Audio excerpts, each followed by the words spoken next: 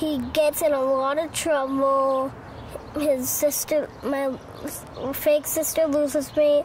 I get in a lot of trouble, and uh, that's all I got.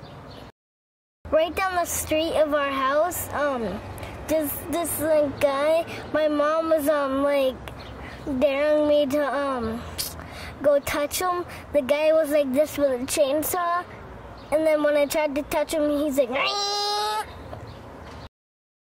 Candy, um,